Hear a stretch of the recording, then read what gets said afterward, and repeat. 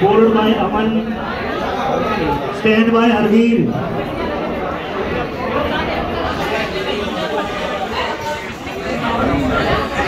Start.